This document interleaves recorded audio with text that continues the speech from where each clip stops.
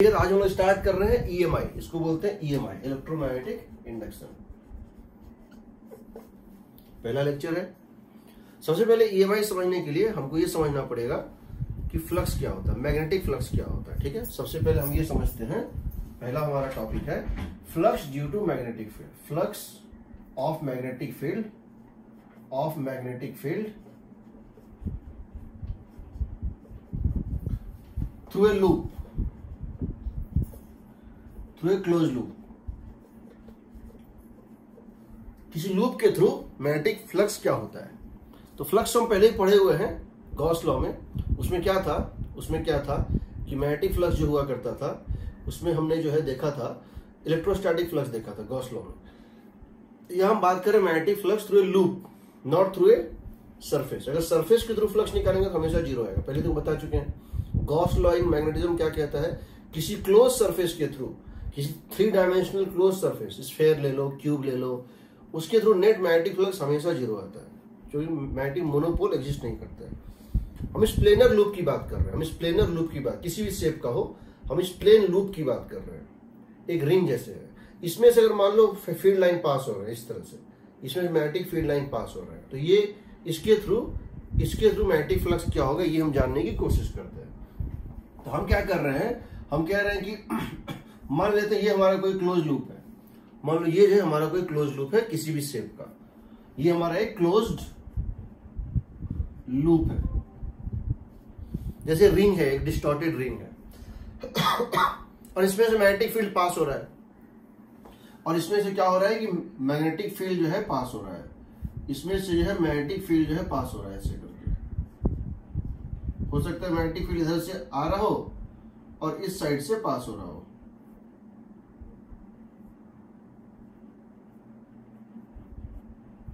ऐसा हो सकता है। तो हमको इसके थ्रू फ्लक्स निकालना ये, जो मैग्नेटिक फ़ील्ड है, इसका फ्लक्स निकालना है। तो हम क्या करते हैं?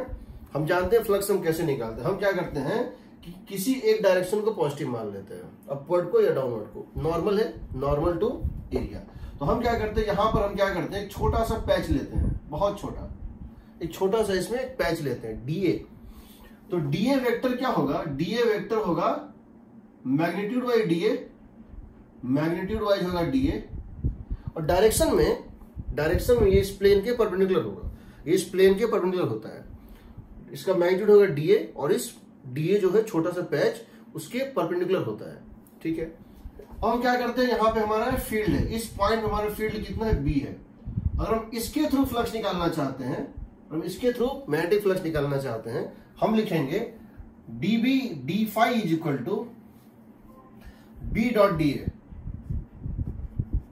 B dot D A ठीक है? इस छोटे से एरिया के थ्रू इस स्मॉल एरिया के थ्रू जहाँ पे लोकल उस पॉइंट पे एरिया वेक्टर है डीए वेक्टर और उस पॉइंट पे लोकल मैग्नेटिक फ़ील्ड है बी वेक्टर तो इस छोटे से लूप के थ्रू मैग्नेटिक फ्लक्स होगा बी डॉट डी ए हम ऐसे ऐसे बहुत सारे पैचेज इसमें बना सकते हैं। हम ऐसे ऐसे इसमें बहुत सारे पैचेस बना सकते हैं।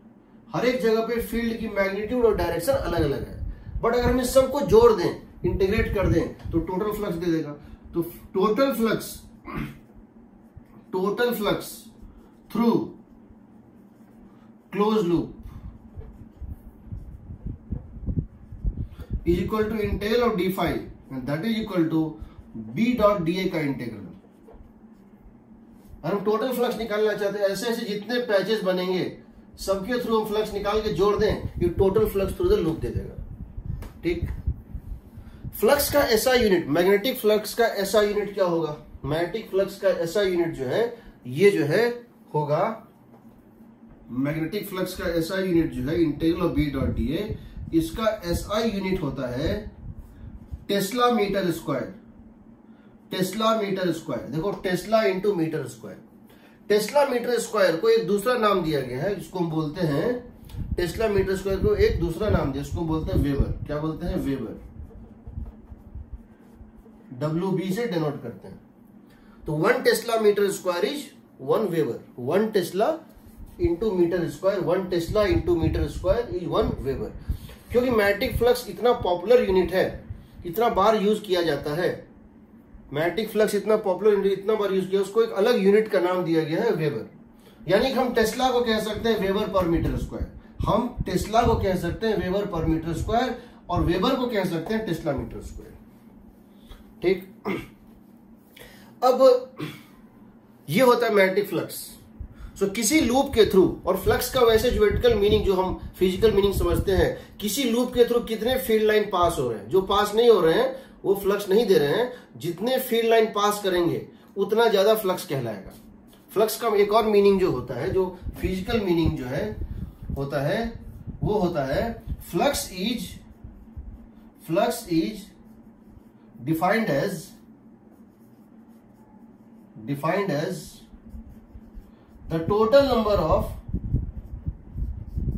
field lines यहाँ हम कहेंगे magnetic flux the magnetic field lines magnetic field lines passing the area passing the area ठीक? ये होता है integral of B dot D ये होता है integral of B dot D हम यहाँ क्लोज लूप की बात कर रहे हैं। हम यहाँ क्लोज लूप की बात कर रहे हैं। क्लोज सरफेस की बात नहीं कर रहे हैं। क्लोज सरफेस और क्लोज लूप में फ़र्क क्या होता है समझ लो। क्लोज सरफेस का मतलब वो क्यूब। क्यूब हुआ, स्फेयर हुआ, इलिप्सॉइड हुआ। सर्फ, क्लोज लूप का मतलब रिंग हुआ, रेक्टेंगल हुआ, इस टाइप से। मतलब प्लेन में हुआ, इस टाइप से। कोई डाउट यहाँ किसी को? कोई डाउट यहाँ? ठीक, अब देखिए। Faraday was a scientist who tried to argue उसने एक आर्गुमेंट किया। फेराडे ने क्या किया? एक आर्गुमेंट किया। क्या किया? उसने बोला कि नेचर सिमेट्रिकली बिहेव करता है। नेचर क्या करता है? सिमेट्रिकली बिहेव करता है। इसका मतलब क्या हुआ? कि अगर किसी चीज़ को रिवर्स किया जाए कॉज और इफ़ेक्ट को रिवर्स किया जाए इंटरचेंज किया जाए, अगर कॉज को इफ़ेक्ट बना दिया जाए, अगर इफ़ेक्ट को कॉज बना दिया जाए तो कॉज को इफ़ेक्ट बन जाना चाहिए। मतलब उसने ये सोचा, उसने क्या सोचा? उसने बोला कि देखो, हम जब एक सोलेनॉइड लेते हैं, या जब एक रिंग लेते हैं Faraday's experiments Faraday's experiments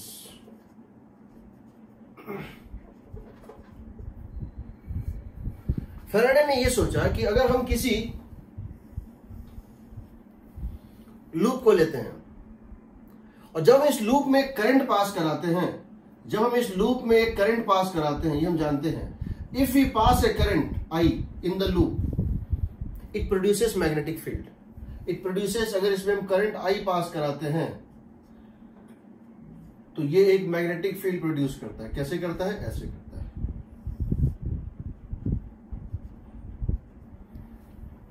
अगर हम किसी लूप में करंट पास कराते हैं, ये मैग्नेटिक फ़ील्ड प्रोड्यूस करता है। ये हमारा देखा हुआ है। हमने लास्ट इसमें देखा था। या अगर उसको ज़्यादा करना चाहते इसके नंबर टर्न्स बढ़ा दें, या एक सोलेनॉइड ले लें तो सोलेनॉइड अगर हम इसको पास कराते हैं तो एक फ़ील्ड प्रोड्यूस होता है। यहाँ पे क्या होता है? Current produces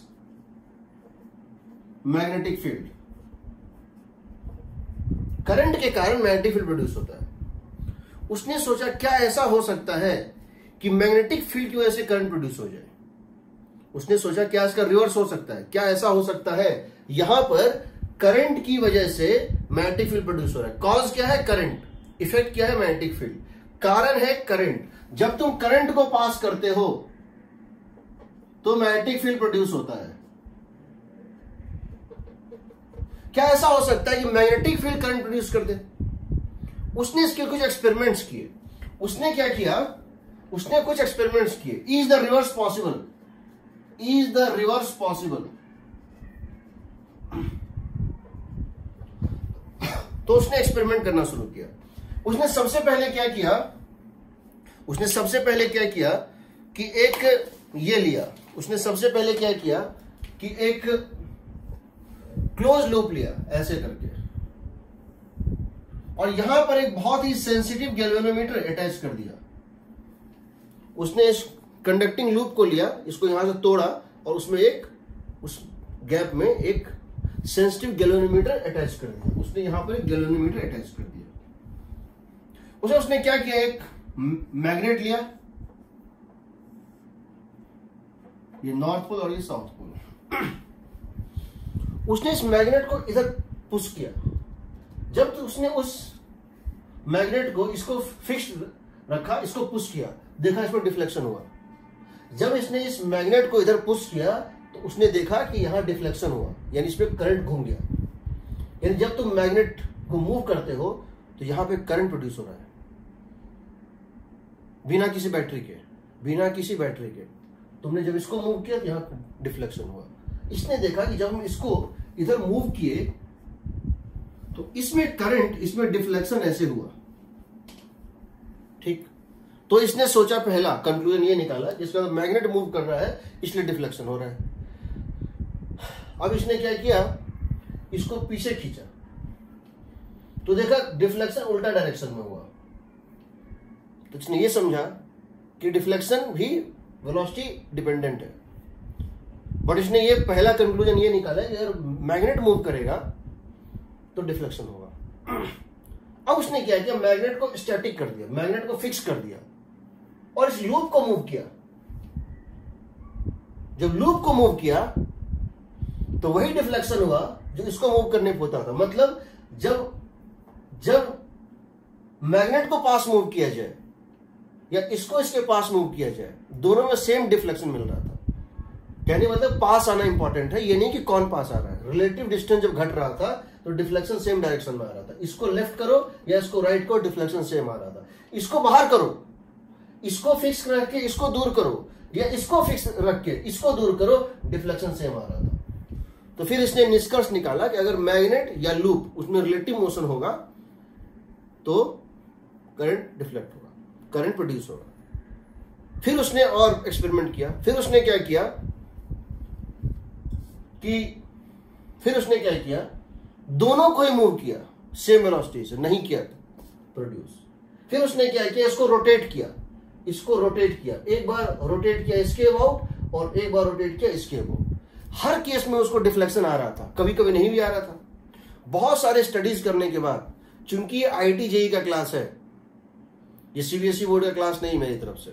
सीबीएसई बोर्ड इसके सबसेट में है। सीबीएसई बोर्ड इसके सबसेट में है। तो उसने बहुत सारे एक्सपेरिमेंट किया और तब कंक्लूड किया कि ना तो कारण इसके चलने का है, ना तो कारण इसके चलने का। कारण है फ्लक्स का बदलना। अगर फ्लक्स बदलेगा, जो फ्लक्स इस मैग्नेटिक फ़ील्ड का एक फ्लक्स है, यहाँ से निकलने वाला मैग्नेटिक फ़ील्ड, यहाँ से निकलने वाला मैग्नेटिक फ़ील्ड,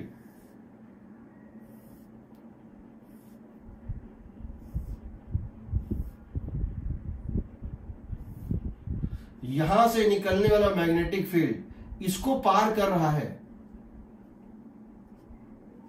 यहाँ से निकलने वाला मैग्नेटिक फ़ील्ड कुछ पार नहीं कर रहा है बट बाकी फ़ील्ड लाइन इस एरिया से, इस लूप से क्रॉस कर रहे हैं। यहाँ से निकलने वाले जो मैग्नेटिक फ़ील्ड हैं, वो इसको पार कर रहे हैं। यानी ये मैग्नेटिक फ़ील्ड के कुछ लाइंस इस लूप को, के अंदर से होके निकल रहे हैं। उसको बोलेंगे मैग्नेटिक फ्लक्स अगर ये फ्लक्स बदलेगा तो ईएमएफ इंड्यूस होगा, इसके अंदर एक करंट घूम जाता है। वेन एवर दिस फ्लक्स बहुत एक्सपेरिमेंट के बाद Faraday concluded Faraday concluded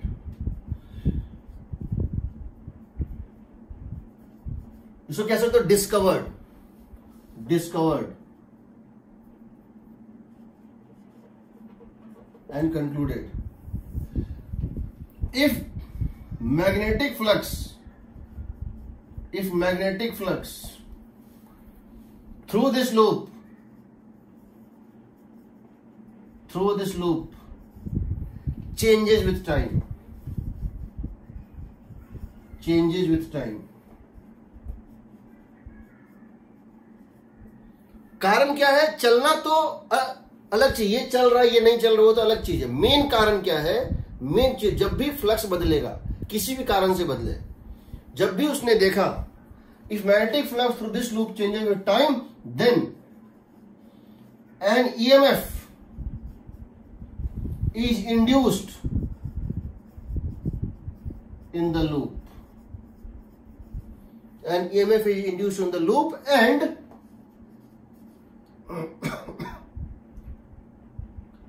and due to this due to this an induced current induced current flows in the loop. जब भी किसी भी कारण से मैग्नेटिक फ़ील्ड मैग्नेटिक फ्लक्स बदलेगा मैग्नेटिक फ्लक्स बदलेगा तो इसमें जो है ईएमएफ इंड्यूस होता है और उसके कारण इसमें एक करंट फ्लो कर जाता है। ठीक?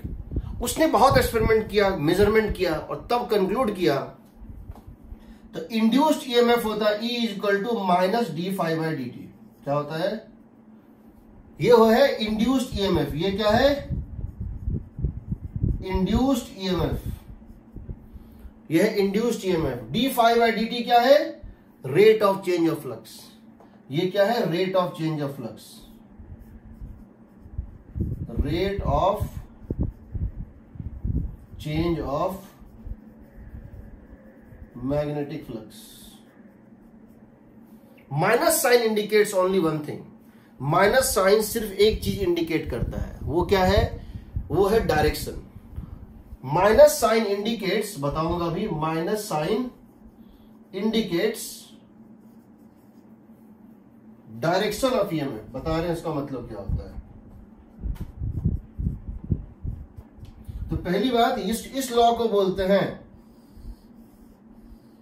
Faraday's law of electromagnetic induction EMF होता है minus d phi by d t इसको बोलते हैं Faraday's law of electromagnetic induction Faraday's law of यानी कि rate of change of flux rate of change of flux जितना ज़्यादा होगा ईएमएफ e इंड्यूस उतना ज़्यादा होगा, उसके अंदर इंड्यूस्ड ईएमएफ उतना ज़्यादा होगा, और rate of change of flux जितना कम होगा ईएमएफ e इंड्यूस उतना कम होगा, ठीक?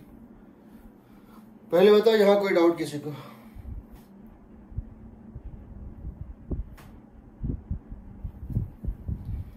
चलिए so we are coming to इस पे। ये चैप्टर बहुत बड़ा है, लेकिन बहुत सीक्वेंशियल है। बहुत मतलब बड़ा है नहीं, दिखता है बड़ा। चैप्टर बहुत छोटा है but it seems to be big because we have to be हमको एक सीक्वेंस में चीज़ों को लेना है, समझे? और कुछ नहीं है। अब देखो। अब ये समझो फ्लक्स जो बदलेगा फ्लक्स जो बदलेगा, वो क्यों बदलेगा? फ्लक्स बदलने के तीन कारण हो सकते हैं। क्या क्या मान लो मैं इसकी बात करूँ, मैं अगर सिंपल से बात करूँ कि फ्लक्स है B dot d A B dot A मान लो। यूनिफॉर्म मैग्नेटिक फ़ील्ड है तो बी डॉट ए मान लो। और मैं बी डॉट ए को फ्लक्स मानू और मैं बी डॉट ए को फ्लक्स मानू, ये हो जाएगा बी ए कॉस थीटा ये हो जाएगा B A cos theta B A cos का मतलब है बी ए कॉस का मतलब है कि ये है, समझो, अगर यूनिफॉर्म मैग्नेटिक फ़ील्ड है, और यूनिफॉर्म मैग्नेटिक फ़ील्ड है, ये बी है, जो कि यूनिफॉर्म है। ये बी है, जो कि यूनिफॉर्म है। ये वेक्टर ए है, और ये एंगल थीटा है।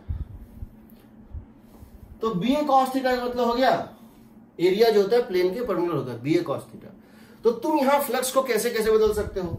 Flux can be changed flux can be changed. Can be changed by पहला by changing by changing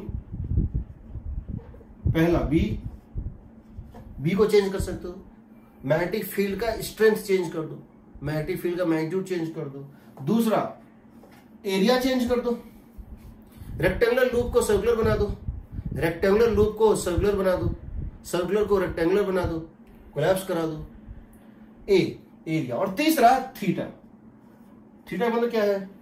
field वैसे ही है जैसे था। फ़ील्ड वैसे ही है जैसे था। इसको घुमा दो। तो एरिया वेक्टर घूम जाएगा ना। जब लूप घूमेगा तो उसके साथ उसका एरिया वेक्टर भी घूमेगा।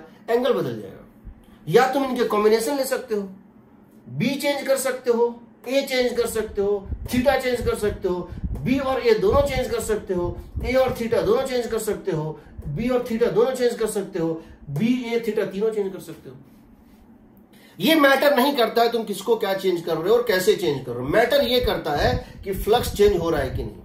याद रखना मैटर ये नहीं करता है कि मैकेनिज्म क्या है। इलेक्ट्रोमैटिक इंडक्शन के केस में ये मैटर नहीं करता है कि कैसे चेंज करो? ये मैटर करता है कि चेंज हो रहा है कि नहीं। ये भी हो सकता है, तुम एरिया को बढ़ा दो और थीटा को ऐसा चेंज कर दो कि फ्लक्स वही आ जाए। ये भी हो सकता है। कोई कोई चेंज ही नहीं हुआ। तो ये मैटर नहीं करता है कि कारण बी का चेंज होना है ए का चेंज होना है थीटा का चेंज होना है, या इनके कॉम्बिनेशन का चेंज होना है। मैटर ये करता है कि चेंज हुआ कि नहीं। ठीक, पहली बार अब समझो, इसमें सबसे पहला चीज़ जो होता है, वो होता है हम बात कर रहे हैं मैग्नीट्यूड ऑफ़ ईएमएफ की। हम किसकी बात कर रहे हैं? मैग्नीट्यूड ऑफ़ ईएमएफ की। फिर बात करेंगे डायरेक्शन ऑफ़ ईएमएफ की। ठीक? मैग्नीट्यूड ऑफ़ ईएमएफ पहले हम ले रहे हैं मैग्नीट्यूड ऑफ़ ईएमएफ कितना होता है।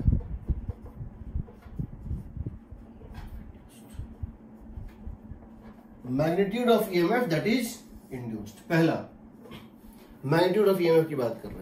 पहला। पहला जो मैग्नीट्यूड ऑफ़ ईएमएफ है, वो है E equal to d phi by d t EMF induced is equal to minus of d phi by d t का मॉड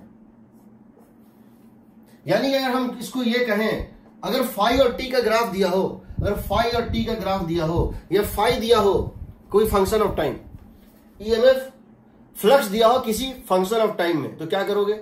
उसको d phi by d t कर दो, उसका मॉड ले लो। अगर हम दे दे कि flux is equal to three t square plus four t plus six three t square minus four t plus six तो डी फाइव डी टी करके उसका मॉड ले लो, वो दे देगा ईएमएफ इंस्टेंटेनियस ईएमएफ दे देगा। ठीक है? ये होता है माइनस डी फाइव ये होता है slope of slope of flux time graph graphically इसका मतलब है the tangent drawn to the slope of to the graph of flux time graph agreed ठीक है? दूस, दूसरा। दूसरा। अगर आपसे पूछेगा ई e का एवरेज वैल्यू ये तो इंस्टेंटेनियस वैल्यू था। एवरेज वैल्यू तो तुमको क्या करना है? Phi two minus phi one by t two minus t one निकाल लो। Total change in flux by total time taken total change in flux by total time taken total time flux का change कैसे निकालोगे? Initially B A theta सब दिया होगा। Finally B A theta सब दिया होगा। फाइव वन निकाल लो फाइव टू निकाल। लो ये आ जाएगा एवरेज वैल्यू एवरेज वैल्यू पूछा है तो। ठीक? तीसरा। अगर तुमसे यह पूछा जाए कि करंट कितना फ्लो कर रहा है, क्या पूछा जाए? करंट कितना फ्लो कर रहा है। तो इंस्टेंटेनियस करंट किसी लूप में अगर निकालना हो तो आई की वैल्यू आएगी यह instantaneous current instantaneous current that is going to be equal to EMF by resistance ये आर क्या है? रेसिस्टेंस ऑफ़ लूप अगर किसी अगर किसी लूप में अगर किसी लूप में ईएमएफ है ई e, अगर किसी लूप में एक तरह से क्या है, हम क्या क्या जो है, कहेंगे, हम कहेंगे एक तरह से इसके अंदर बैटरी है। जो एक ईएमएफ e इसके अंदर एक बैटरी है। जिसने इसमें ईएमएफ e प्रोड्यूस किया है, इसके अंदर एक बैटरी है, जिसका ईएमएफ है डी फाइव बाई डी और इस पूरे पूरे लूप की रेजिस्टेंस है यार।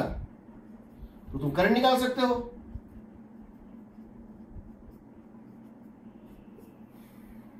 तुम इसमें करंट निकाल सकते हो। करंट हो जाएगा ईएमएफ का मतलब है one by R into d phi by d होगा ना? दिस इज़ द इसका मतलब है, अगर तुम सेम चेंज इन फ्लक्स जल्दी करोगे तो करंट ज़्यादा होगा। मैं क्या कर रहा हूँ? ये फ़ील्ड इस तरह से था। फ्लक्स कितना है? बी ए देखो area vector B vector same direction में। बी ए मैं इसको ऐसे घुमा देता हूँ। मैं इस लूप को क्या करता हूँ? ऐसे घुमा के इसको कर देता हूँ परपेंडिकुलर तो फ्लक्स कितना हो जाएगा? ज़ीरो मैं बहुत तेज करूँगा तो करंट ज़्यादा फ्लो करेगा। क्योंकि same change in flux same resistance same change in flux same resistance अगर जल्दी करेंगे जल्दी करेंगे फास्ट डीटी कम देंगे तो करंट ज़्यादा होगा। Current is inversely proportional to the time taken for the change जितना जल्दी करोगे, उतना ज़्यादा करंट होगा। होगा ना?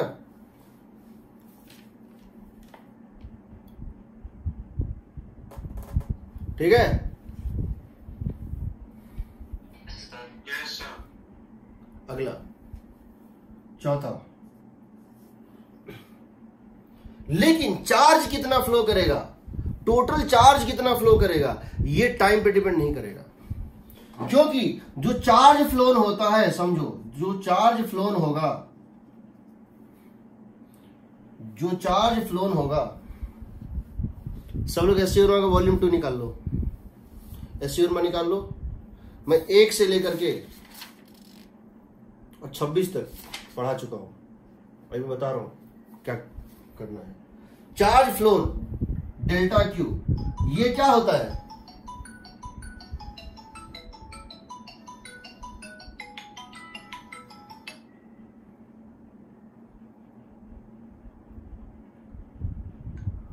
चार्ज फ्लोन जो होता है, वो होता है integral of I d t क्या होता है? Integral of I d t तो आई डी टी को जब इंटीग्रेट करोगे, ये बताओ I d t I into d t यहाँ से डी टी को लेके चले जाओ और इंटीग्रेट कर दो। तो सिंपली आएगा one by R integral of d phi और डी फाइव मतलब क्या है? Total change in flux delta phi by R यानी phi 2 minus phi 1 by r. This is independent of the time taken for the change. This is indi this is inversely proportional to time taken. याद रखना current जो था inversely proportional to time taken था but this is independent of time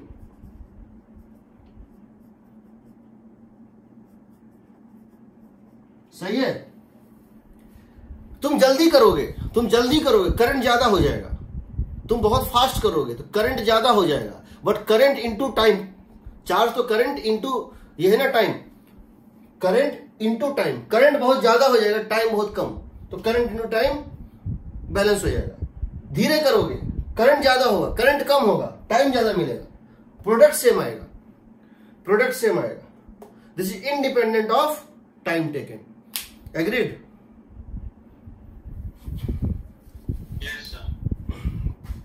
page 306 SC Verma question number one dimensional formula क्या है? खुद कर लेना. Question number one dimensional formula है. खुद कर लेना. Question number two question two में फाइव दिया है फ़ंक्शन ऑफ़ टाइम ईएमएफ पूछा है डिफ्रेंशिएट करके प्लेस कर देना. क्वेश्चन नंबर थ्री फाइव और टाइम का ग्राफ दिया हुआ है. क्वेश्चन पूछा है. क्वेश्चन नंबर फोर ठीक है? Question number four. ये। क्वेश्चन फोर क्या है? एक लूप है, एक लूप है। उस लूप को एक यूनिफॉर्म फ़ील्ड में रखा गया है। एक लूप को एक यूनिफॉर्म फ़ील्ड में रखा गया है और उसको फिर फ़ील्ड से निकाल लिया गया है। ठीक है? एवरेज ईएमएफ कितना होगा? फाइव टू ज़ीरो है। फाइनल क्योंकि तुमने फ़ील्ड को बाहर निकाल लिया। पहले इसको यूनिफॉर्म फ़ील्ड में रखे हुए थे परपेंडिकुलर बाद में उस फ़ील्ड से उसको बाहर निकाल लिए। तो final flux zero initial flux B into A cos zero degree और टाइम दिया हुआ कितने टाइम में निकाला है? Question number five a conducting loop of area one millimetre square placed coplanar with long straight wire at a distance इतना। The straight wire carries इतना find the average induce chamber देखो question number five question five क्या है? एक infinitely long current carrying wire है। एक infinitely long current carrying wire है, ठीक है? एक infinitely long current carrying wire है, ठीक है? यहाँ से यहाँ से कितने डिस्टेंस पे? यहाँ से कितने डिस्टेंस पे? ट्वेंटी सेंटीमीटर पे। यहाँ से ट्वेंटी सेंटीमीटर के डिस्टेंस पे। एक बहुत ही छोटा सा लूप रखा हुआ है। एक बहुत ही छोटा सा लूप रखा हुआ है, जिसकी एरिया है, जिसकी एरिया है वन मिलीमीटर स्क्वायर। इस लूप की एरिया है वन मिलीमीटर स्क्वायर। इतना छोटा लूप है कि तुम मान सकते हो कि यहाँ पर मैग्नेटिक फ़ील्ड क्या है? यूनिफॉर्म है। समझ रहे हो ना? तुम जानते हो यहाँ से डिस्टेंस आर पे मैग्नेटिक फ़ील्ड इसकी वजह से क्या होता है? इस करंट आई की वजह से किसी डिस्टेंस आर पे मैग्नेटिक फ़ील्ड क्या होता है? बताओ यहाँ मैग्नेटिक फ़ील्ड क्या होगा? Mu naught I by two pi R two pi d ये दिया हुआ है डी आई भी दिया हुआ है। तो यानी कि अब ये एरिया इतना कम है वैसे तो समझो यहाँ जो फ़ील्ड होगा वैसे तो यहाँ जो हो, होगा फ़ील्ड क्योंकि करंट यहाँ पे है करंट कैरिंग वायर यहाँ पे यहाँ और यहाँ फ़ील्ड अलग अलग होगा। क्योंकि यहाँ की डिस्टेंस यहाँ से कम है और यहाँ की डिस्टेंस थोड़ी सी ज़्यादा है। पर इतना छोटा लूप है, तुम इस लूप पे मान सकते हो कि फ़ील्ड लगभग यूनिफॉर्म है। कितनी फ़ील्ड है? Mu naught I by two pi d तो इसके थ्रू फ्लक्स निकल गया ना? इसके थ्रू फ्लक्स निकल गया। फ्लक्स कितना हो गया बताओ? ये बी निकाल लो और इंटू वन मिलीमीटर स्क्वायर इसको ऐसा यूनिट में कन्वर्ट कर दो। ये फ्लक्स था। अब तुमने क्या किया? अब तुमने क्या क्या किया? This current that was ten ampere इसको धीरे धीरे ज़ीरो कर दिया गया। इसमें करंट घटाते घटाते ज़ीरो कर दिए। कितने टाइम में? पॉइंट वन सेकेंड में।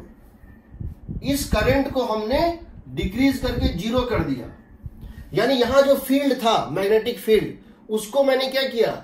इस वैल्यू से ज़ीरो तक लेके चले गए। कितने टाइम में? पॉइंट वन सेकेंड में। तो तुमको फाइव वन भी निकल जाएगा फाइव टू हो जाएगा, ज़ीरो। और t two minus t one दिया है time taken point one second तुम एवरेज ईएमएफ निकालने के लिए पूछा है। कर लोगे?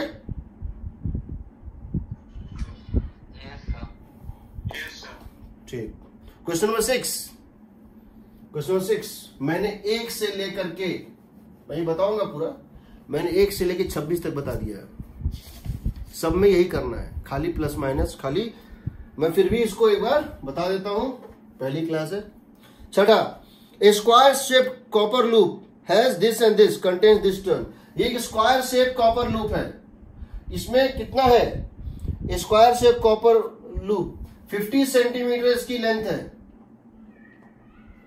50 सेंटीमीटर एंड 50 सेंटीमीटर इसकी लेंथ है। है 50 टर्न्स कितने टर्न्स है इसमें? 50 टर्न्स भी हैं। 50 टर्न्स स्क्वायर शूट है 50 centimetre and 50 turn is place perpendicular to one tesla field इसको तुमने एक वन टेस्ला के फ़ील्ड में रख दिया है। ये B equal to one tesla है। इस फ़ील्ड में तुमने इसको प्लेस कर दिया है। नॉर्मली ठीक है? Place perpendicular to one tesla field it is remove from the magnetic field in point two five second इसको मैग्नेटिक फ़ील्ड से बाहर निकाल लिया जाता है। कितने टाइम में? पॉइंट टू फाइव सेकेंड में। This is removed this loop is removed from the field in कितने time point two five second point two five second में इसको बाहर निकाल लिया जाता है। जहाँ पे भी फ़ील्ड था। जितने दूरी पे फ़ील्ड था, उससे उसको बाहर निकाल लिया जाता है। मान लो फ़ील्ड यहाँ से लेके यहाँ तक था। मान लो फ़ील्ड यहाँ से लेके यहाँ तक था। पहले ये उसमें रखा हुआ था फ़ील्ड में, अब उसको बाहर निकाल लिया पॉइंट टू फाइव सेकेंड लगा निकालने में टाइम क्या पूछा है? एवरेज ईएमएफ ठीक? एवरेज ईएमएफ एवरेज ईएमएफ कितना होगा? निकालने टाइम तो क्या करोगे? पहला फ्लक्स पता है? पहला फ्लक्स पता है, दूसरा ज़ीरो है टाइम पता है, निकल गया। फिर कहता है उसको वापस, फिर जहाँ पे ज़ीरो फ़ील्ड था, उसको वापस लाके यहाँ डाल देता। अब कितना होगा ईएमएफ उसी मैग्नीट्यूड का होगा। डायरेक्शन उल्टा होगा। अब पूछता है ओवरऑल साइकिल देखो ज़ीरो से फाइव चेंज कितना हुआ? फाइव ज़ीरो से फाइव सॉरी फाइव से ज़ीरो ज़ीरो से फाइव मैग्नीट्यूड वाइज दोनों सेम है. सेंस वाइज अपोजिट है. फाइव से ज़ीरो ज़ीरो से फाइव पहले निकाला, फिर डाला. फाइव से ज़ीरो ज़ीरो से फाइव फाइव से फाइव अब पूछा फ़र्स्ट पूरे प्रोसेस में कितना होगा? ईएमएफ इंड्यूस ज़ीरो होगा ना?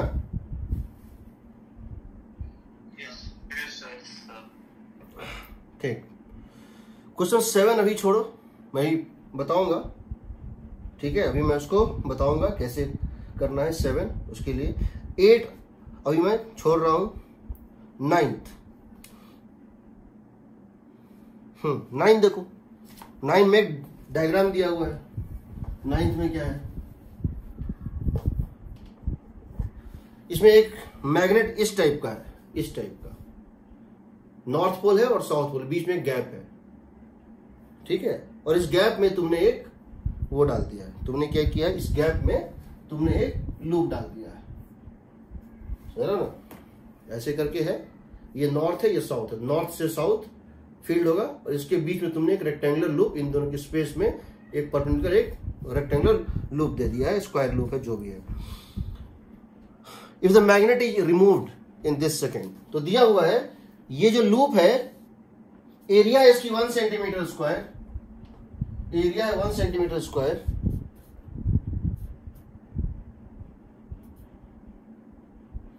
magnetic field दिया हुआ है, इसके प्लेन के पर्टिकुलर क्योंकि नॉर्थ इसके ऊपर है और साउथ इसके पीछे है तो जो भी है मैग्नेटिक फ़ील्ड दिया हुआ है वन टेस्ला मैग्नेटिक फ़ील्ड दिया है point one tesla sorry point one tesla ठीक है?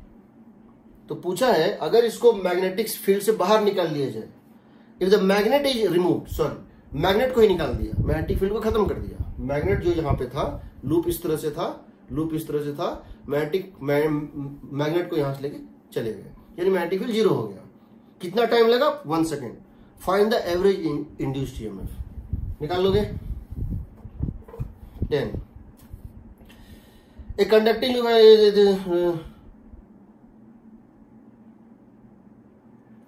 देखो, एक कंडक्टिंग लूप है इस तरह से। इसका नाम दे दो P Q R S P Q R S ये कंडक्टिंग लूप है। और यहाँ एक मैग्नेटिक फ़ील्ड था। यहाँ यूनिफॉर्म मैग्नेटिक फ़ील्ड दिया हुआ है, ठीक है? Question number ten a conducting square loop having edges okay sorry square loop है।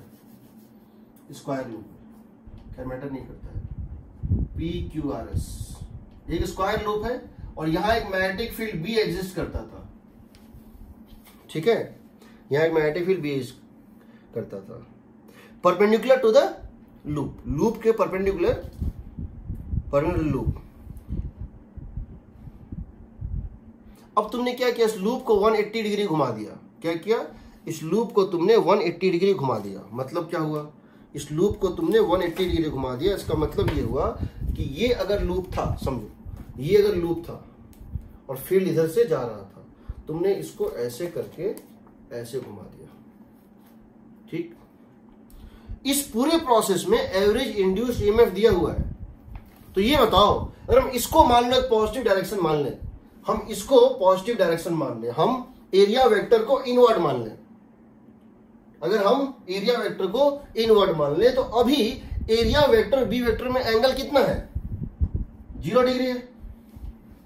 अगर हम एरिया वेक्टर को अंदर मान लें, इस तरह से,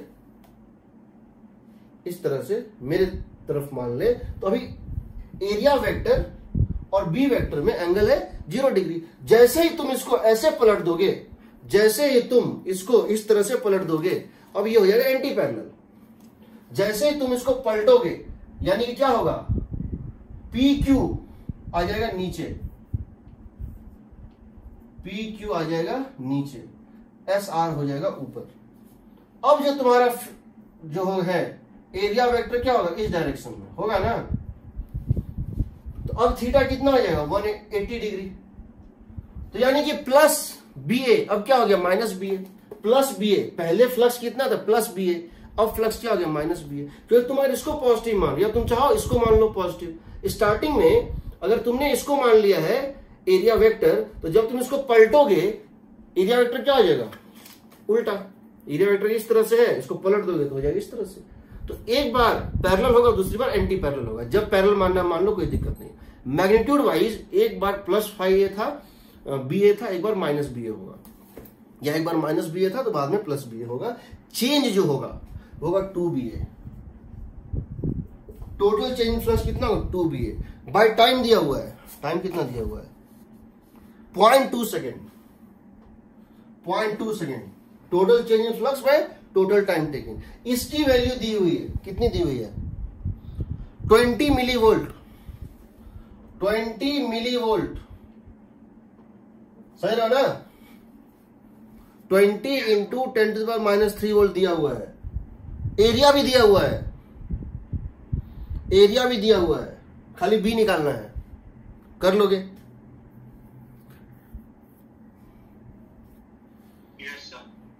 क्लास के बाद करोगे नहीं लेकिन अभी बता दिया है ये सारे क्वेश्चन टुच्चे क्वेश्चन हैं। बस प्लस में बस खाली डिवाइड यही है सब सब में यही है। इसको करना नहीं है। इस चैप्टर में 98 क्वेश्चन हैं। इस चैप्टर में 98 क्वेश्चन है। तुमको 15 बनाने हैं। मैक्सिमम 20 उससे ज़्यादा नहीं। वो कौन सा है, वो मैं तुम्हें बता दूँगा। बट एक बार के लिए तुम ये देख लो कि क्वेश्चन में कहीं कुछ नहीं। कहाँ तक हुआ था? दस तक हुआ था ना? ग्यारह। देखें, ग्यारह है क्या? ठीक है? ग्यारह देखो। आंसर क्या होगा? ग्यारह का। प्रूव करो कि जो चार्ज फ्लो करता है, वो टाइम टेकन पर डिपेंड नहीं करता है। क्वेश्चन नंबर ट्वेल्व जब चार्ज पूछेगा फ्लोन तो टाइम देने की ज़रूरत नहीं है, याद रखना। पर कभी भी उसको पूछना होगा चार्ज कितना फ्लो किया तो वो टाइम नहीं देगा टाइम की ज़रूरत ही नहीं ठीक? एक सोलोनॉइड है। नहीं, पहले है इलेवन नंबर तो क्या होगा?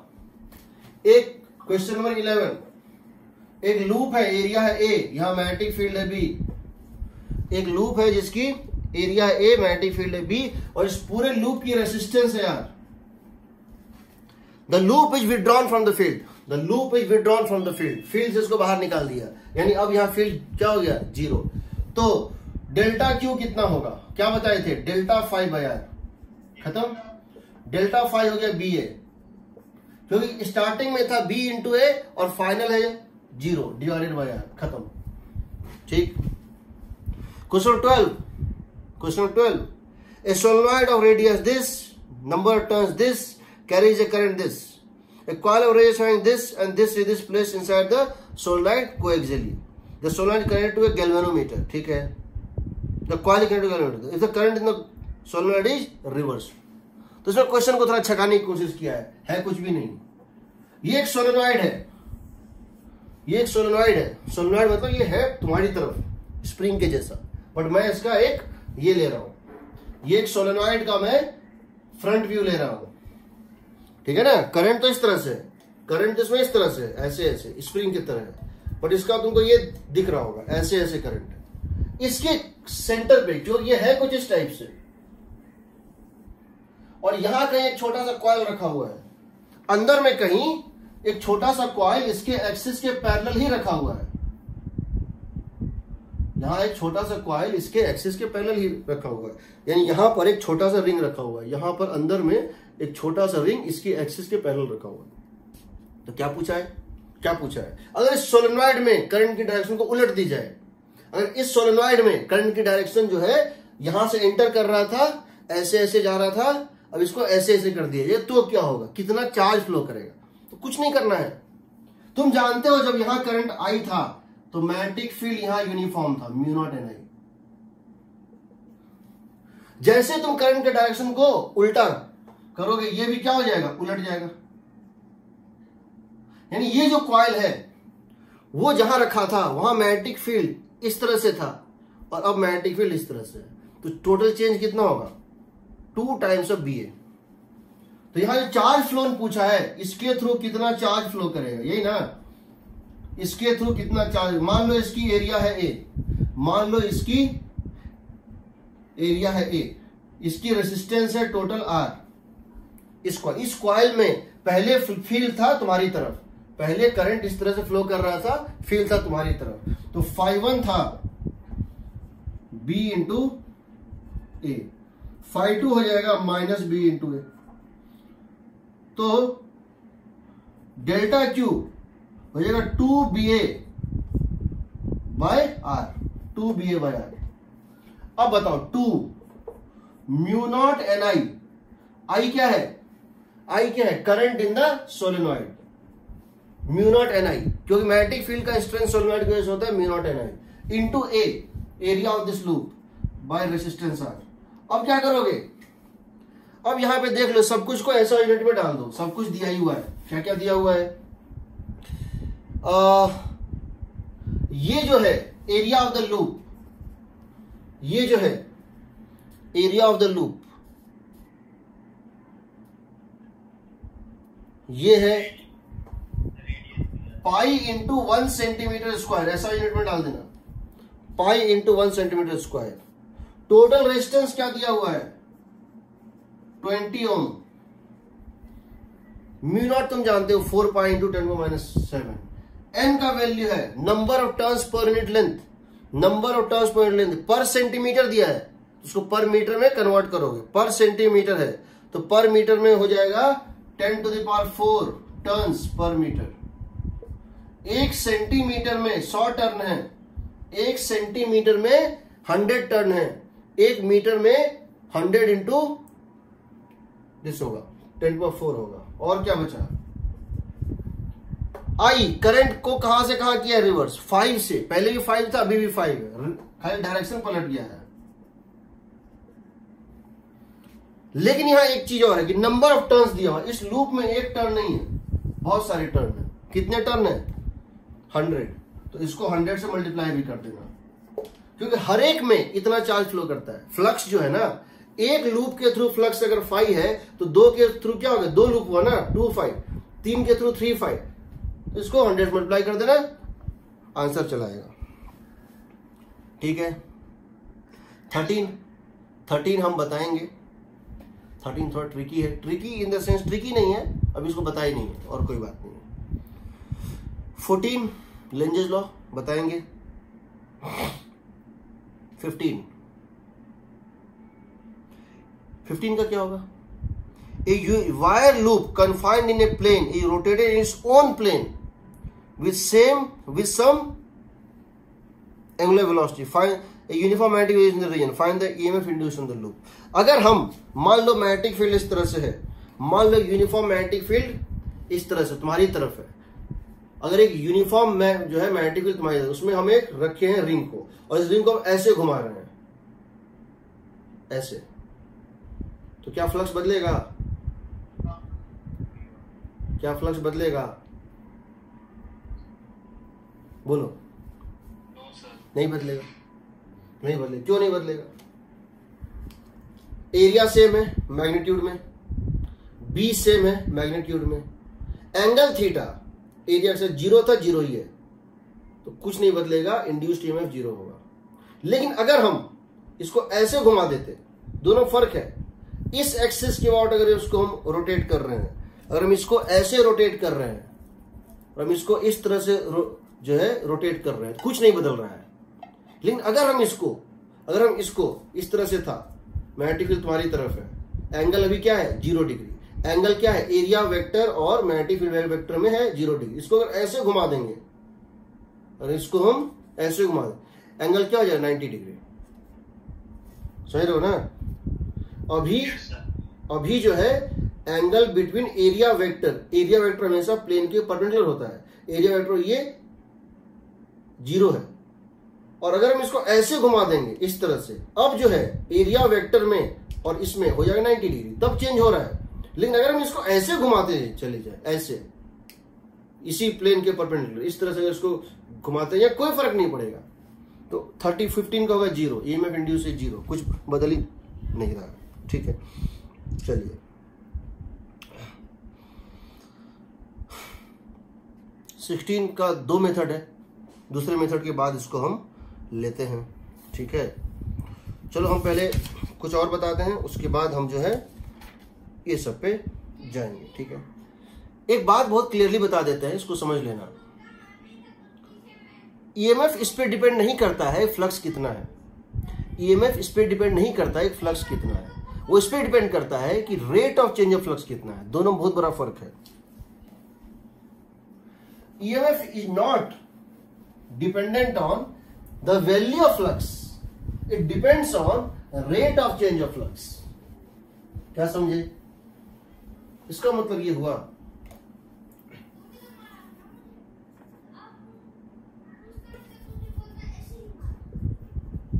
induced emf do not depend on do not depend on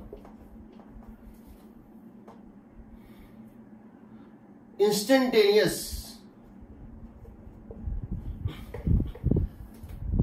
value of flux. It depends on rate of change of flux.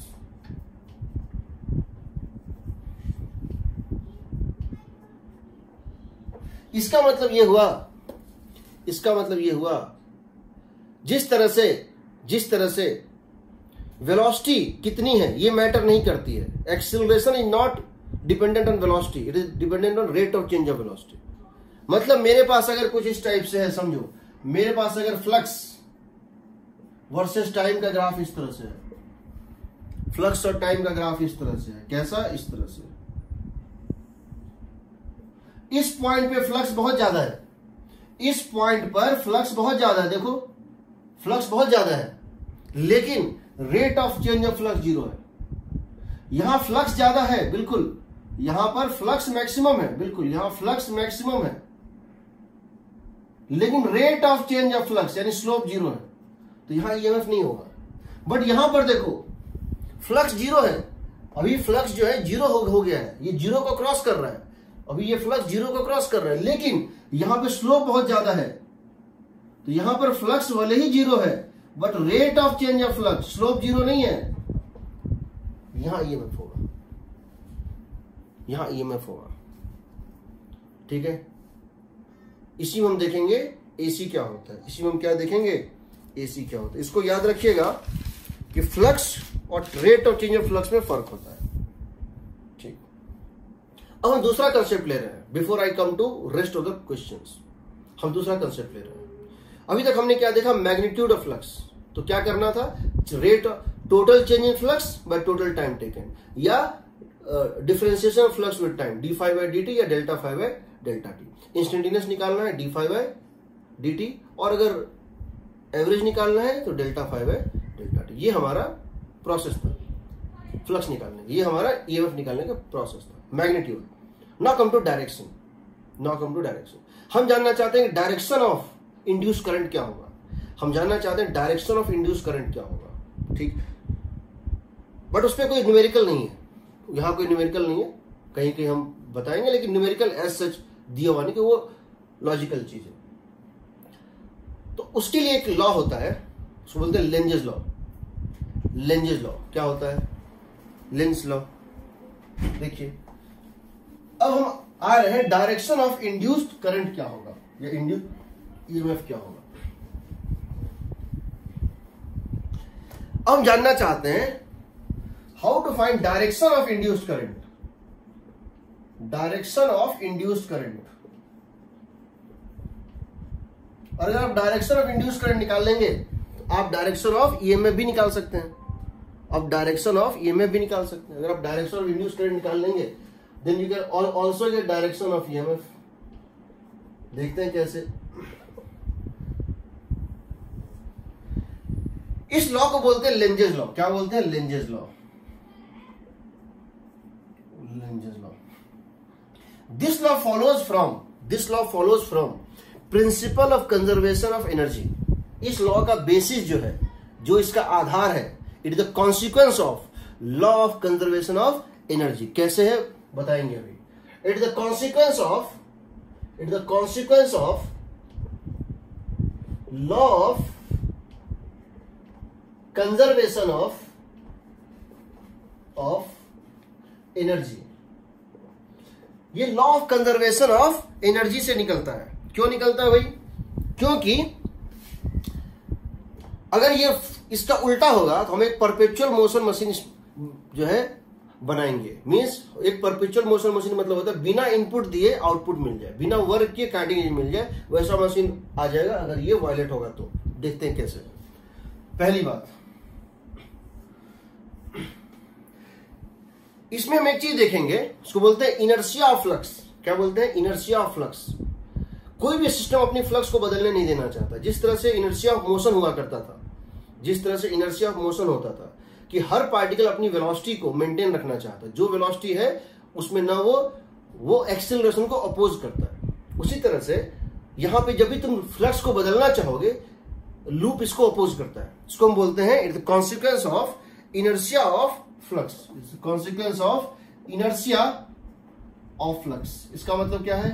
Every system tries to maintain its inertia its continuity of flux that is continuity of flux continuity of flux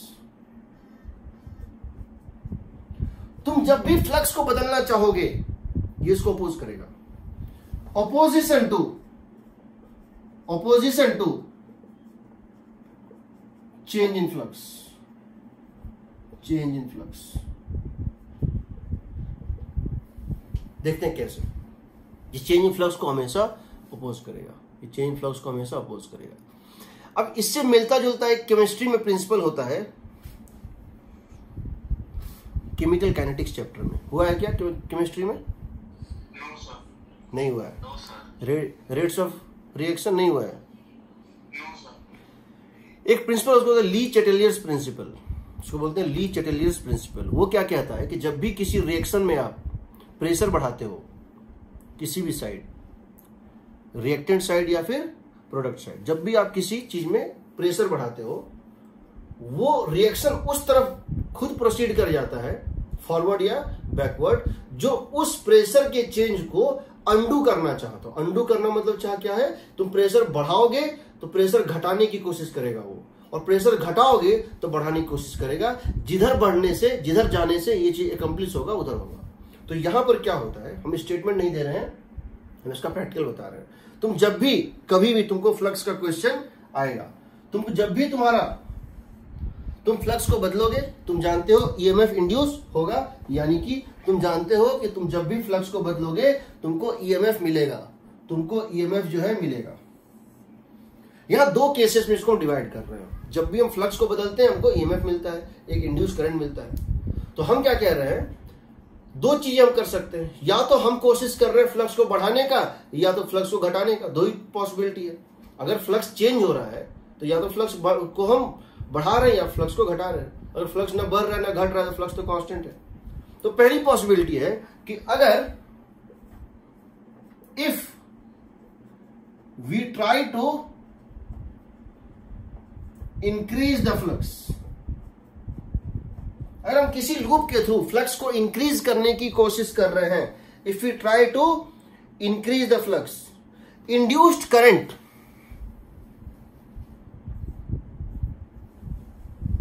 induced current would try to create a magnetic field opposite to original field. यानी induce current क्या कोशिश करेगा? अगर हम अगर हम flux को बढ़ाने की कोशिश कर रहे हैं, याद रखना, अगर हम फ्लक्स को बढ़ाने की कोशिश कर रहे हैं तो इंड्यूस करंट चाहेगा उस फ्लक्स को वीकेन करना। जब बढ़ाओगे तो उसको कमज़ोर बनाना चाहेगा। यानी कि अगर हम बढ़ा रहे हैं तो जिधर भी हमारा ओरिजिनल मैग्नेटिक फ़ील्ड है उस लूप में ऐसा करंट फ्लो करेगा जो उस मैग्नेटिक फ़ील्ड को अपोज करने की कोशिश करेगा। जैसे हम, जैसे मान लो फ्लक्स किसी लूप में इस डायरेक्शन में था, इधर मैग्नेटिक फ़ील्ड था, और हम इसको बढ़ा रहे हैं, किसी भी कारण से बढ़ा रहे हैं तो ये क्या करेगा, इस फ़ील्ड को कमज़ोर बनाने की कोशिश करेगा। तो उससे हमको करंट का डायरेक्शन निकलता है। दूसरा, अगर हम फ्लक्स को घटाने की कोशिश करेंगे, अगर फ्लक्स को घटाने की कोशिश करेंगे तो वो ओरिजिनल फ़ील्ड को स्ट्रांग बनाने की कोशिश करेगा, उसी डायरेक्शन में फ़ील्ड देने की कोशिश करेगा। यानी वो चाहता है कि फ्लक्स वही रहे जो पहले था। फ्लक्स ना बदले। ठीक है? इससे आप this would help you from this direction of field from this direction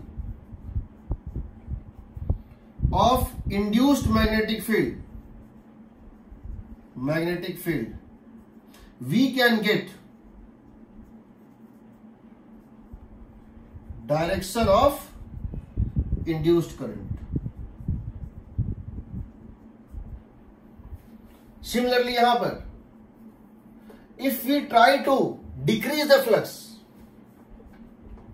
if we try to decrease the flux अगर तुमने डिक्रीज करने की कोशिश की तो इंड्यूस करंट क्या करेगा? कोशिश करेगा मैग्नेटिक फ़ील्ड ओरिजिनल फ़ील्ड के डायरेक्शन में देने का। मतलब वो स्ट्रेंथन करने की कोशिश करेगा। अगर तुम घटाने की कोशिश कर रहे हो तो वो फ्लक्स को बढ़ाने की कोशिश करेगा। Then induced current induced current would try to would try to create a field create a magnetic field magnetic field along the original field. Along the original field. तीसरा। तीसरा। तो इससे क्या होगा? From this you can get from this direction from this direction of induced magnetic field induced magnetic field और field due to induced current we can get we can get direction of current और यहाँ आगे मैं सिर्फ़ लिखने के लिए बात लिख देता हूँ, जिसको मैं बाद में एक्सप्लेन करूँगा। यहाँ मैं सिर्फ़ लिखने के लिए बात लिख देता हूँ इसको मैं बाद में एक्सप्लेन करूँगा। कोई भी कारण जिससे फ्लक्स बदलेगा, कोई भी कारण, चाहे वो डायरेक्ट हो, चाहे इनडायरेक्ट हो, जिससे फ्लक्स बदलेगा, उसको वो अपोज करेगा। अगर मेरे बोलने से फ्लक्स बढ़ रहा है, कहीं भी। अगर मेरे बोलने से कहीं फ्लक्स बढ़ रहा है तो मुझे बोलने में कठिनाई होगी। अगर मेरे बल्ब जलाने से कहीं फ्लक्स बढ़ रहा है तो वो बल्ब को जलने नहीं देगा। इतना चेन इफ़ेक्ट होता है कि जो इम्पॉसिबल होता है, वहाँ तक इसका इफ़ेक्ट जाता है। मेरे कुछ करने से कुछ होगा, उसके कारण कुछ होगा उसके कारण फ्लक्स बढ़ेगा। तो जब मैं उसको करूँगा तो मुझे वहाँ का ओपोजिशन यहाँ फील होगा। आई टी इस बार एक क्वेश्चन पूछा था इस पर बहुत सिंपल थियोरेटिकल क्वेश्चन बहुत सारे बच्चे हवा हो गए थे। क्या हो रहा है? इस पे बेस्ड था। It opposes everything that leads to change in everything that Yes, sir. that changes flux that changes flux is opposed. मैं इसको एक्सप्लेन करूँगा। पहले तो ये मेथड जो है मैं इसको अभी एक्सप्लेन कर रहा हूँ फ़ील्ड कैसे निकालेंगे। पहले मैं क्या कर रहा हूँ, एक यहाँ से लेंजेज लॉ का यूज़ करके, और क्यों Lenz's law conservation of energy को से आता है, ठीक? तो याद रखना फ़ील्ड को फ्लक्स को बढ़ाने की कोशिश करोगे तो ओरिजिनल फ़ील्ड को कमज़ोर बनाओ। फ़ील्ड को बढ़ाने की कोशिश कर रहे हो फ्लक्स को तो ओरिजिनल फ़ील्ड को कमज़ोर बनाने की कोशिश जो है, करो। और अगर फ़ील्ड को घटाने की कोशिश कर रहे हो, फ्लक्स को, अगर घटाने की कोशिश कर रहे हो तो ओरिजिनल फ़ील्ड को स्ट्रेंथन करने की कोशिश करो, ठीक है? देखो। So I am not taking the examples not am taking the examples अब ये बताओ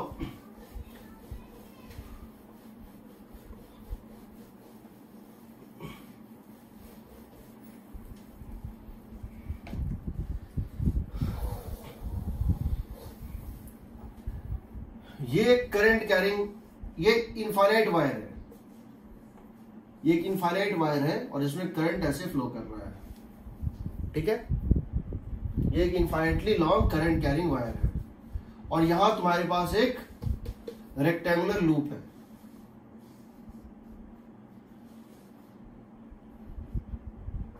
ये एक रेक्टेंगुलर लूप है। ठीक है? तुम इसको इधर खींच रहे हो। तुम इसको इधर खींच रहे हो वेलोसिटी दे देते हो। इस पे इंड्यूस करंट किधर होगा? एंटी क्लॉकवाइज या क्लॉकवाइज एंटी क्लॉकवाइज क्लॉकवाइज सबसे पहले ये बताओ कि इसकी वजह से मैग्नेटिक फ़ील्ड ये किसके मैग्नेटिक फ़ील्ड में रखा हुआ है? इसके मैग्नेटिक फ़ील्ड में। ये जो लूप है, वो इसके मैग्नेटिक फ़ील्ड रखा हुआ है। इसका मैग्नेटिक फ़ील्ड क्या होता है? क्रॉस होता है। इसका मैग्नेटिक फ़ील्ड क्या होता है? क्रॉस होता है। होता है ना? ऐसे है तो ऐसे क्रॉस होगा और तुम जानते हो, ये जितना दूर जाओगे फ़ील्ड उतना कमज़ोर पड़ता है। तो जब ये थोड़ा सा बाहर जाएगा, इसमें फ्लक्स बढ़ेगा ही, घटेगा।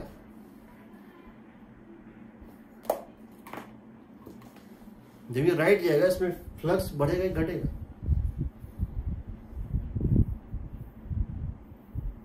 बताओ।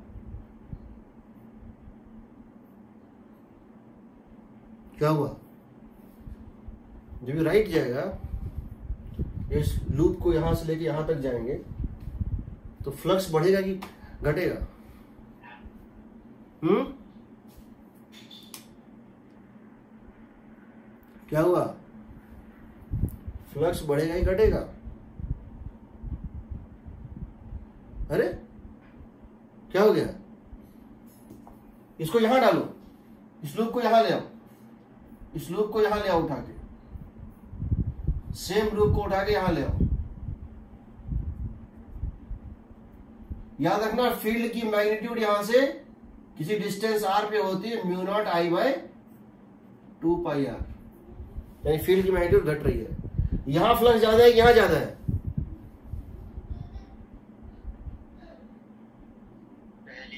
पहली जगह ज़्यादा है। यानी कि जब तुम इसको मूव कर रहे हो, जब तुम इसको मूव कर रहे हो तो फ्लक्स घट रहा है। है ना? फ्लक्स घट रहा है। एरिया सेम है। एरिया सेम है। एंगल भी सेम है। बट रिलेटिव स्ट्रेंथ घट रहा है। ये फ्लक्स घट रहा है। तो ये क्या चाहेगा? ये क्या चाहेगा? अगर फ्लक्स घट रहा है तो ये चाहेगा ओरिजिनल फ़ील्ड को स्ट्रांग बनाओ। बिकॉज़ फ्लक्स घट रहा है it would try it would try to strengthen original magnetic field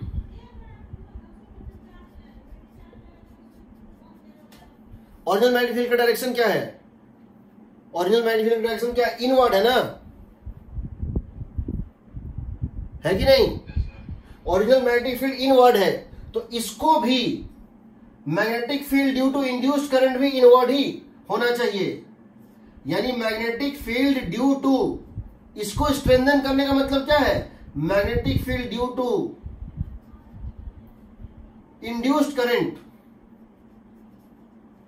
induced current भी अंदर ही होना चाहिए। और ये तभी होगा जब करंट इसमें ऐसे फ्लो करेगा। एक बार जब तुमको राइट हैंड थंब रूल से पता चले किधर इसको इंड्यूस करंट को किधर फ़ील्ड देना है, किधर देना है? अंदर देना है। तो करंट इस तरह होगा। होगा ना? होगा ना? जैसे करंट इधर होगा, देख लो। ये और ये अट्रैक्ट करेगा। इंड्यूस्ड करंट इस तरह से होगा, समझ लो। इंड्यूस्ड करंट इस तरह से होगा। क्या ये और ये अट्रैक्ट करेगा? क्या ये और ये रिपेल करेगा हाँ सर अट्रैक्शन ज़्यादा या रिपल्सन ज़्यादा? ये और ये अट्रैक्ट करेगा, ये और ये रिपेल करेगा। ये वायर और इस लूप के बीच में अट्रैक्शन ज़्यादा या रिपल्सन ज़्यादा? अट्रैक्शन ज़्यादा। क्यों अट्रैक्शन ज़्यादा? इसको दूर ले आ रहे हो ना अट्रैक्ट कर रहा है। इसको दूर ले आ रहे हो ना, कारण क्या है? वेलोसिटी फ्लक्स के चेंज का कारण क्या है? वेलोसिटी तो ये वेलोसिटी को अपोज कर रहा है और तुम अगर इसको खींच रहे हो एफ़ एक्सटर्नल से तो तुमको ताकत लगेगा, तुमको वर्क करना पड़ेगा फील होगा फील होगा। एफ़ एक्सटर्नल जो है, उसको अपोज करेगा। इसको पास लाओ, देखो रिपेल करेगा। इसको पास लो रिपेल करेगा। कोशिश करके देखो, इसको पास लाओ। जब इसको पास लाओगे यहाँ से यहाँ अपोजिट कर दो। इस लूप को पास लेके जाओ। जब पास लेके जाओगे तो क्या होगा? इसको पास लेके जाओगे, क्या होगा? फ्लक्स बढ़ेगा। फ्लक्स बढ़ेगा तो ये क्या चाहेगा? जब फ्लक्स बढ़ेगा तो ये क्या चाहेगा? कि ओरिजिनल फ़ील्ड को कमज़ोर बनाओ। फ्लक्स बढ़ेगा तो कमज़ोर बनाओ, घटेगा तो मज़बूत बनाओ। कंपेंसेट करो। तो जब तुम इसको इधर लेके जाओगे, फ्लक्स बढ़ेगा क्योंकि मैग्नेटिक फ़ील्ड नज़दीक में ज़्यादा है, फ्लक्स बढ़ेगा, ये क्या चाहेगा? जब फ्लक्स बढ़ेगा तो ये क्या चाहेगा? ये चाहेगा ओरिजिनल फ़ील्ड को वीकेन करो। वीकेन करने का मतलब क्या है? ओरिजिनल फ़ील्ड को कमज़ोर बनाने का मतलब क्या है? इस तरह से। देगा ना? अब क्या होगा दोनों में? रिपल्सन रिपल्सन ज़्यादा होगा। ठीक? मान लो तुमसे हम ये पूछते हैं। ये एक लाइन है। इस लाइन के लेफ़्ट में फ़ील्ड ज़ीरो है। इसके राइट में फ़ील्ड यूनिफॉर्म है। इस लाइन के लेफ़्ट में फ़ील्ड ज़ीरो है और इसके राइट में फ़ील्ड यूनिफॉर्म है। और आप जो है, और आप जो है, इसको इस तरह से मूव करा रहे हैं।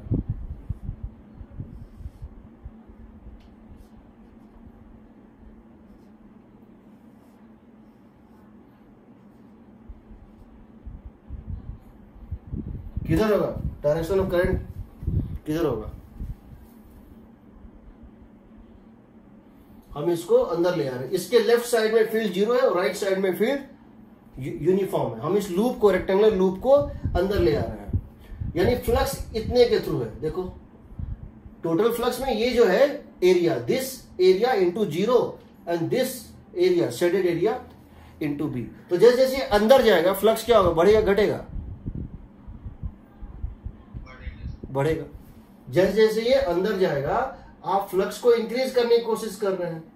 इसका मतलब आपकी, आपका जो करंट है करंट इस तरह से फ्लो करेगा ओरिजिनल फ़ील्ड को कमज़ोर बनाने की कोशिश करेगा। बिकॉज़ तुम्हारा फ्लक्स इंक्रीज कर रहा है बिकॉज़ तुम्हारा फ्लक्स इंक्रीज कर रहा है। Therefore induced current induced current would try to weaken original magnetic field और इंड्यूस करंट का कोशिश क्या होगा? जो ओरिजिनल मैग्नेटिक फ़ील्ड है, उसको कमज़ोर बनाओ। ओरिजिनल मैग्नेटिक फ़ील्ड क्या था? इनवर्ड उसको बनाना है कमज़ोर। तो फ़ील्ड क्या दोगे? आउटवर्ड तो आउटवर्ड दोगे तो करंट कैसे फ्लो करेगा? और फ़ील्ड प्रोड्यूस करना है इंड्यूस करंट को फ़ील्ड प्रोड्यूस करना है बाहर की तरफ़। तो करंट क्या होगा? राइट हैंड थंब रूल के अकॉर्डिंग ऐसे होगा। होगा ना? Yes, ये होगा इंड्यूस करंट ये होगा इंड्यूस करंट अगला क्वेश्चन मैं क्या कर रहा हूँ? मेरे पास एक रेक्टेंगुलर लूप है। और यहाँ मैग्नेटिक फ़ील्ड इस तरह से तुम्हारी तरफ़ है। यहाँ एक मैग्नेटिक फ़ील्ड यूनिफॉर्म है, तुम्हारी तरफ़ है, और एक रेक्टेंगुलर लूप है। ये एक रेक्टेंगुलर लूप है। हम इस लूप को सर्कुलर बना देते हैं। हम इस लूप को सर्कुलर बना देते हैं। क्या करते हैं इस लूप को? सर्कुलर बना देते हैं। Convert this same loop close loop into circular we convert this into circular loop this magnetic field ये बी है। हम इसको क्या करते हैं? सर्कुलर कन्वर्ट पेरीमीटर सेम है। तो बताओ क्या होगा?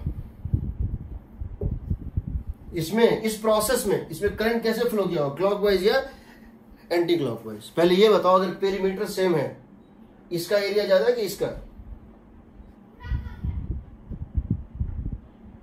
अगर पेरीमीटर सेम है, इसका एरिया ज़्यादा कि इसका? हम्म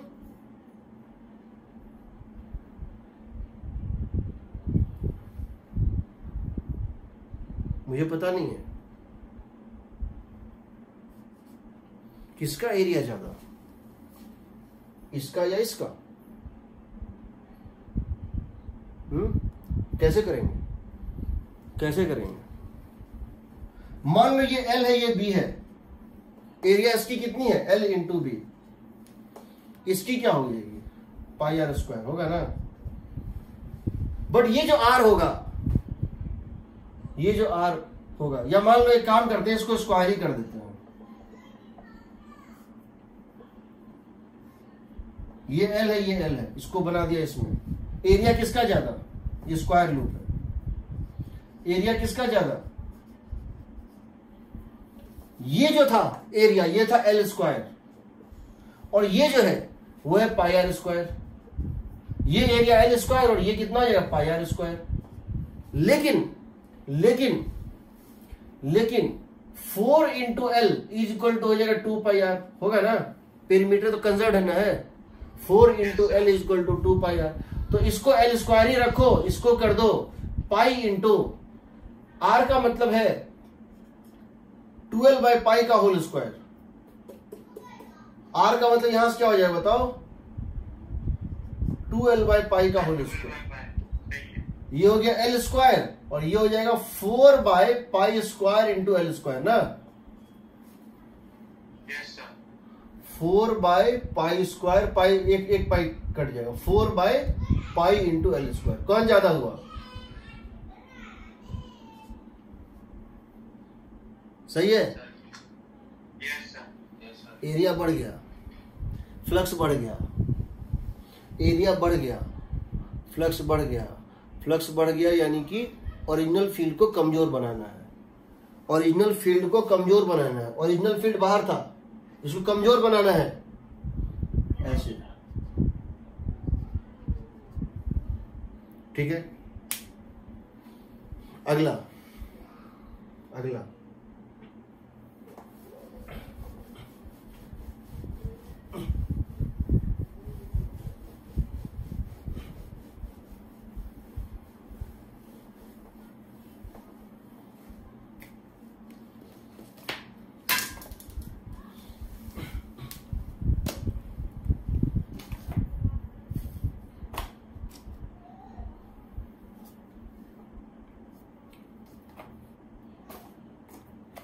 देखो।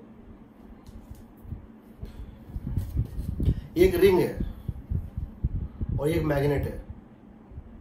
ये नॉर्थ पोल है, ये कैप जो है नॉर्थ पोल, ये साउथ पोल है। नॉर्थ पोल से फ़ील्ड निकलता है, ऐसे करके ये फिक्स है। तो थोड़ा सा ऐसे करते हैं, थोड़ा सा। ठीक? तो इसमें दो तरह से करंट फ्लो कर सकता है। एक ऐसे और एक इस तरह से। यानी ये एक मैग्नेट बनेगा। इसमें इंड्यूस करंट होगा, देखो। हमारे पास ये एक लूप है, जो इस प्लेन के परपेंडिकुलर है। और यहाँ पर हमारे पास एक मैग्नेट है, एक स्ट्रॉन्ग मैग्नेट है। और ये इस मैग्नेट का नॉर्थ पोल है और ये इस मैग्नेट का साउथ पोल है, ठीक है? यहाँ से फ़ील्ड लाइन निकल रहा है इस तरह से।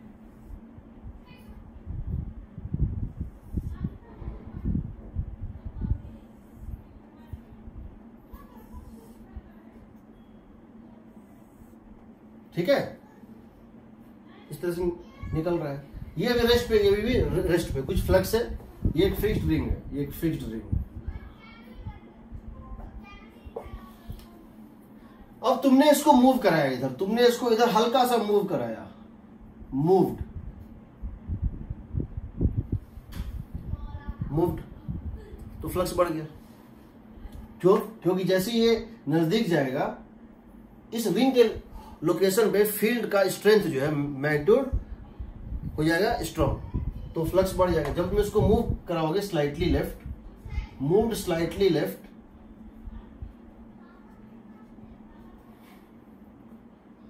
तो यहाँ फ्लक्स बढ़ गया। यहाँ फ्लक्स जो है, इसके थ्रू फ्लक्स जब तुम इसको मूव कराओगे, उसका असर क्या होगा? इस पॉइंट पे, यहाँ इस लोकेशन में मैग्नेटिक फ़ील्ड का स्ट्रेंथ बढ़ जाएगा। Magnetic field increases therefore flux increase ठीक है? फ्लक्स इंक्रीज कर जाएगा। अब ये बताओ, अगर फ्लक्स इंक्रीज कर जाएगा ये बताओ फ्लक्स अगर इंक्रीज कर जाएगा तो हमको दो चीज़, दो पॉसिबिलिटी है। या तो इंड्यूस करंट ऐसे होगा, या इस तरह होगा। ठीक है ना? या तो इंड्यूस करंट का फ़ील्ड राइट होगा, या तो इंड्यूस करंट का फ़ील्ड राइट होगा, या लेफ़्ट होगा। यही ना? दो पॉसिबिलिटी देखते हैं। अगर इंड्यूस करंट का फ़ील्ड राइट हुआ, अगर इंड्यूस करंट इस तरह से हुआ, अगर इंड्यूस करंट का फ़ील्ड राइट हुआ, दो पॉसिबिलिटी है तुम्हारे पास। अगर इंड्यूस करंट का फ़ील्ड राइट हुआ, अगर field due to induce current due to induce current ऐसा हुआ, अगर इंड्यूस करंट ने फ़ील्ड इस तरह प्रोड्यूस करने की कोशिश की या इंड्यूस करंट ने फ़ील्ड इस तरह प्रोड्यूस करने की कोशिश की।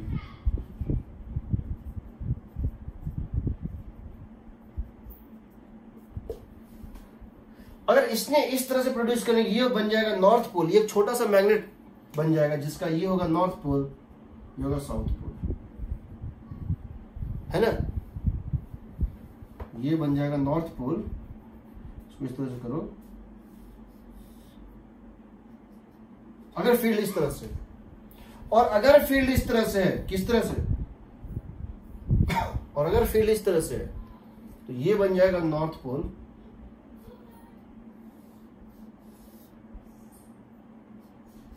ये बन जाएगा साउथ पोल। अब सोचो, अगर ऐसा हो गया तो क्या होगा? अगर ऐसा हो गया तो क्या होगा? इसको थोड़ा सा डिस्प्लेस कर दो डेल्टा एक्स और छोड़ दो। इसको हल्का सा झटका देके छोड़ दो। तो ये नॉर्थ पोल बन गया।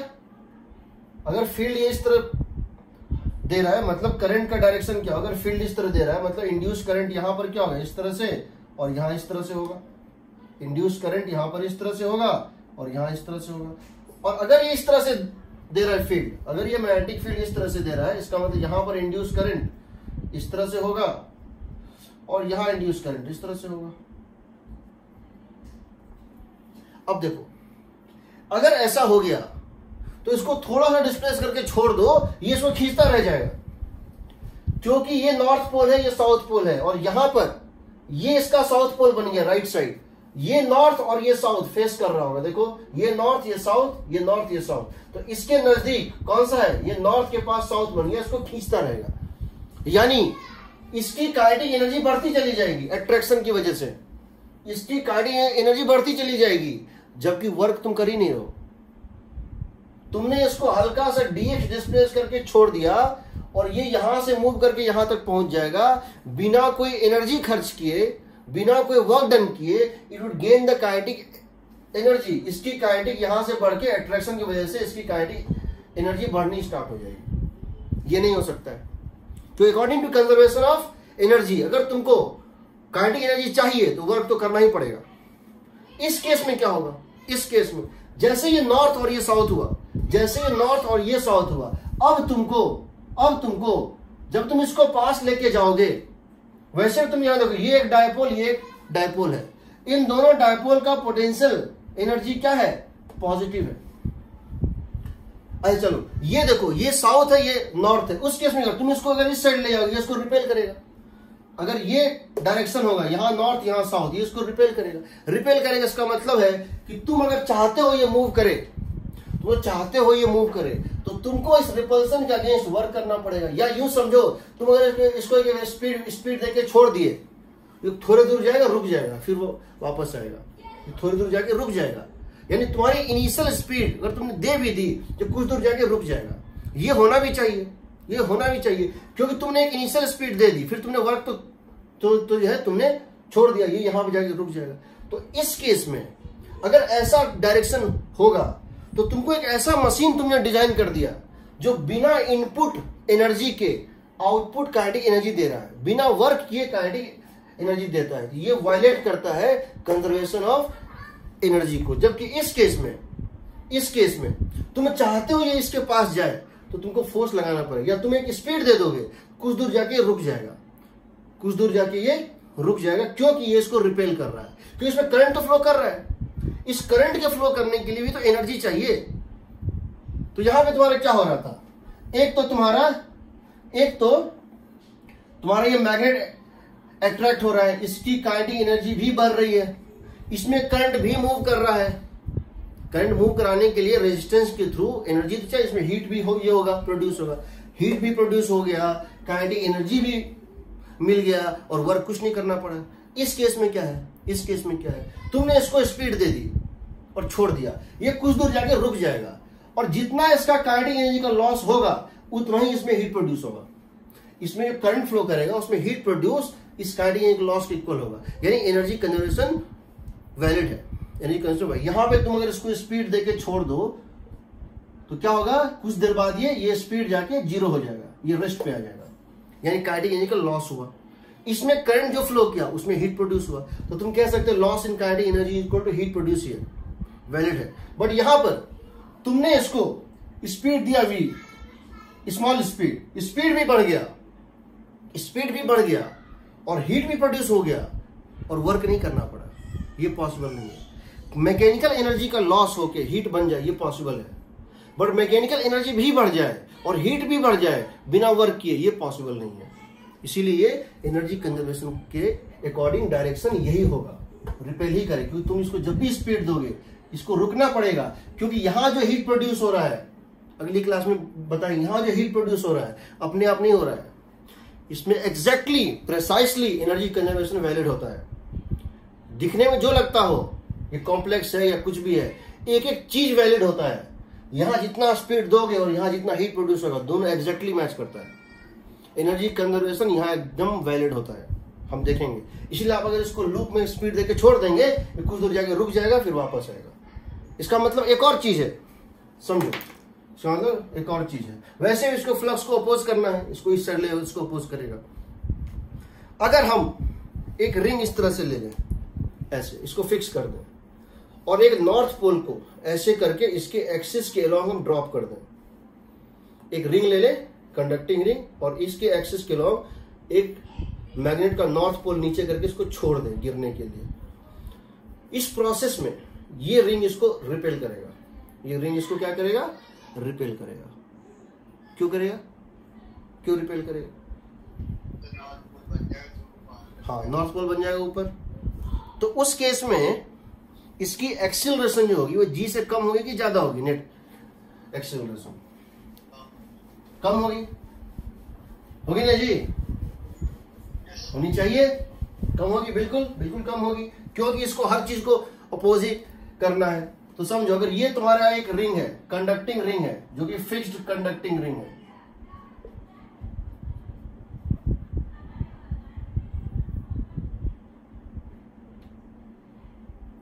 और आपने यहाँ से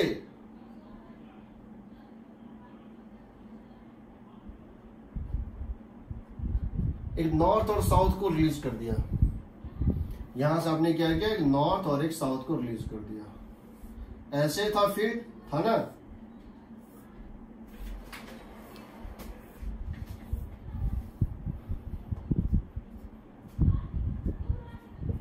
ऐसे था। छोड़ दोगे? इसको ड्रॉप कर दो। तो ड्रॉप करोगे तो इसके ऊपर क्या होगा?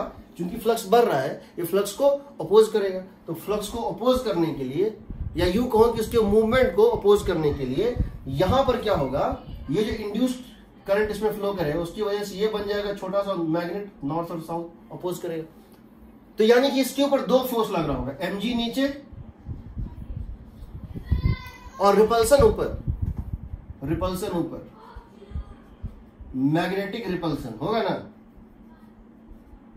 यानी कि इसकी जो एक्सिलेशन होगी, वो ए लेस देन जी होगी। क्योंकि ये नज़दीक जाना चाह रहा है उसको अपोज करेगा। क्योंकि नज़दीक जाना चाह रहा है, इसको ये अपोज करेगा। एग्रीड कोई डाउट अब सोचो। हमने इसको ड्रॉप किया था। हमने इसको ड्रॉप किया था या स्पीड यू दे दिया था नीचे। इसको ड्रॉप किया था या इसको नीचे फेंक दिए थे। एक्सिलरेशन तो नीचे फेंके थे तो एमजी नीचे रिपल्सन ऊपर अब अगर हम इसको ऊपर फेंक देंगे तो क्या होगा? अब अगर हम इसी मैग्नेट को और इसी मैग्नेट को अगर हम ऊपर फेंक देंगे तो क्या होगा?